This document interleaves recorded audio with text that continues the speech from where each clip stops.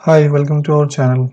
Today let us see how we can add a camera flash effect into Shotcut. First of all, load the video into the tracks. Here you can see I have V1, video track 1, where I have my source and V2 where I have added the camera flash effect. So first thing is like uh, we need to locate the place where we want to include the flash. In this video, let us add a flash here. In order to add the flash, we need to open other, then select color. Color can be just white. Okay. Again, okay. So it will come here. And now we need to reduce it to say one frame. This is a tricky task here because the flash effect is just for one or two frames in not even seconds. We can try with the numeric uh, up down button or you can use the slider there. Whatever works for you.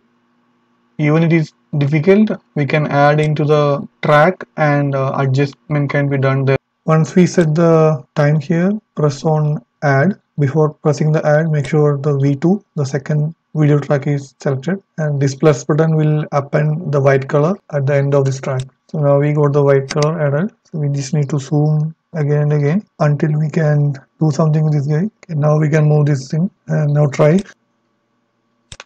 You can see the camera flash effect here.